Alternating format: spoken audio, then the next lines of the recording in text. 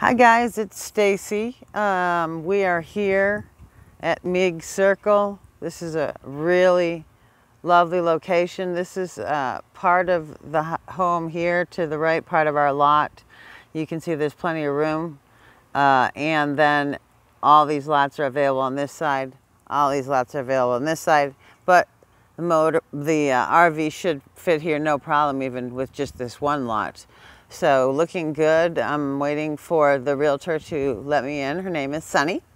So I will um, just kind of walk around here with you guys till she gets here. This lot is open here.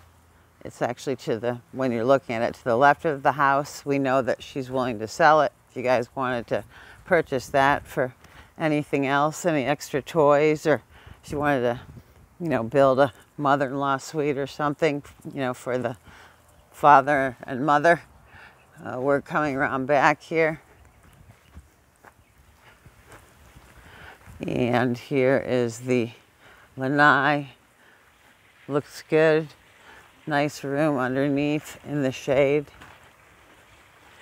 And, oh, here's, hello! Here is the homeowner, I believe, and here's the pool, so I'll get back to you guys.